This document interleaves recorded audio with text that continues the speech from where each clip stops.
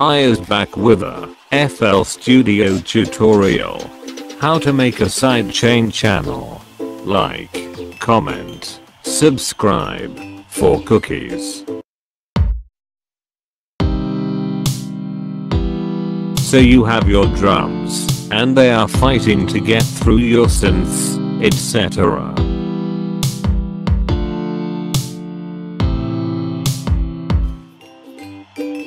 So get a empty channel and name it sidechain.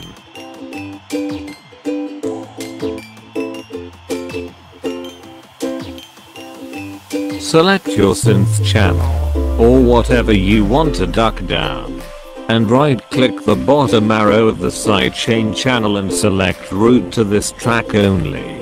Now select your kick channel and right click the bottom arrow of the sidechain channel and select sidechain to this track. Do the same with the snare channel. Now put fruity limiters on the sidechain channel. Select the comp option. Right click this box and select kick. Now turn down the threshold and ratio till you hear a difference.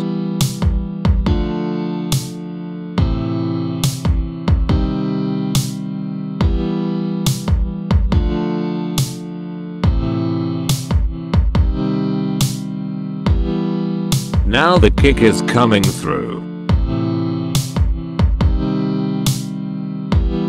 The next fruity limiter will be for the snare.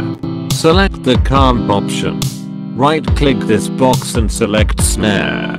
Now turn down the thresh knob and ratio till you hear a difference. You can see it duck when the kick and snare hit.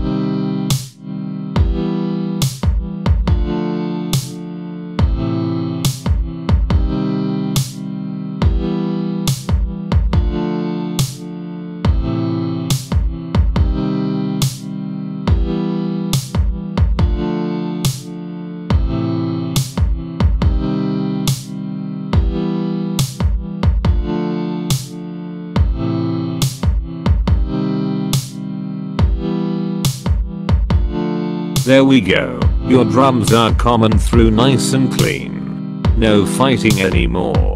You can do it with anything that's making the drums hard to hear.